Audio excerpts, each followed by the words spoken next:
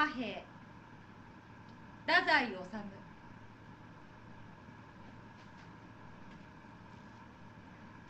異国語においては名詞にそれぞれ男女の性別ありしかして貨幣を女性名詞とす。る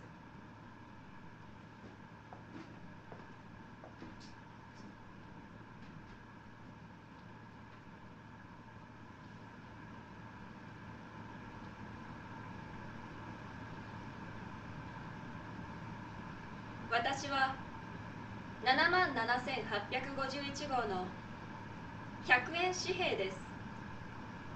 あなたの財布の中の100円紙幣をちょっと調べてみてくださいまし。あるいは私はその中に入っているかもしれません。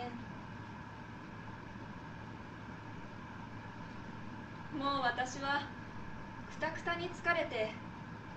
自分が今誰の懐の中にいるのやら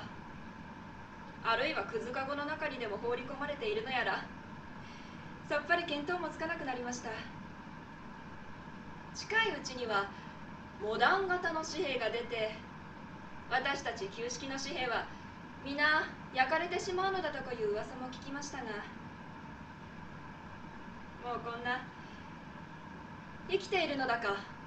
死んでいるのだかわからないような気持ちでいるよりはいっそさっぱり焼かれてしまって昇天しとうございます。焼かれた後で天国へ行くか地獄へ行くか。それは神様任せだけれどもひょっとしたら私は地獄に落ちるかもしれないわ。生まれた時には今みたいにこんな卑しい低たらくではなかったのです。後になったらもう200円紙幣やら1000円紙幣やら私よりもありがたがられる紙幣がたくさん出てきましたけれども私の生まれた頃には100円紙幣がお金の女王で初めて私が東京の大銀行の窓口からある人の手に渡された時にはその人の手は少し震えていました。あら？本当ですわよ。その人は若い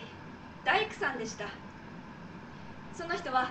腹掛けの丼に私を折りたたまずにそのままそっと入れてお腹が痛いみたいに左の手のひらを腹掛けに軽く押し当て道を歩く時にも電車に乗っている時にもつまり銀行から家へ帰り着くまで左の手のひらで丼を押さえきりに押さえていました。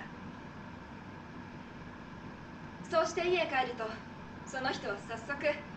私を神棚にあげて拝みました。私の人生の門出は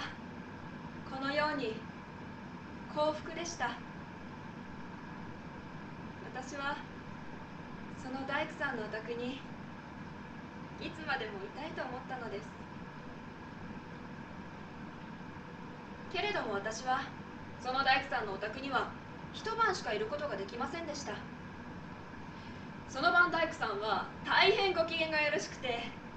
晩酌などやらかしてそうして若い小柄なおかみさんに向かいバカにしちゃいけねえ。俺にだって男の働きというものがある。などと言って威張り時々立ち上がって私を神棚から下ろして両手でいただくような格好で拝んでみせて 若いおかみさんを笑わせていましたが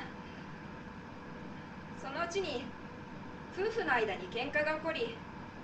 とうとう私は4つに畳まれておかみさんの小さい財布の中に入れられてしまいました。そうしてその明くる朝おかみさんに質屋に連れて行かれておかみさんの着物10枚と変えられ私は質屋の冷たく湿っぽい金庫の中に入れられました。妙に底冷えがしてお腹が痛くて困っていたら私はまた外に出されて日の目を見ることができました。今度は私は医学生の顕微鏡一つと変えられたのでした。私はその医学生に連れられて随分遠くへ旅行しました。そしてとうとう瀬戸内海のある小さい島の旅館で私はその医学生に捨てられました。